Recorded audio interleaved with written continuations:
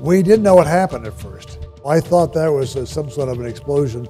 We started to look at the instrument panel and I saw the quantity gauges on our two oxygen tanks with one of them zero and I could see the needle go down on the other one. And uh, consequently, I knew that we were in deep, deep trouble.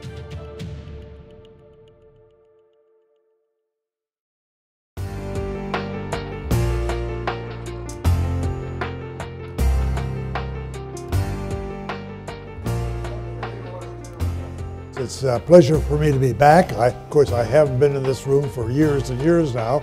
I can recall uh, being down here and uh, learning a little bit about star recognition. We had to know where those stars were located in the sky uh, to manually maneuver if the automatic system failed. I remember this device now. The pictures reminded me of the device they had here at Morehead. It was really great to uh, have us sit in, under a hood in a movable chair uh, so that we could only see a portion of the sky at the time and that would give us uh, more and more training to when in the actual vehicle, because we could only see a portion out of our window, how to maneuver around to get to the proper stars.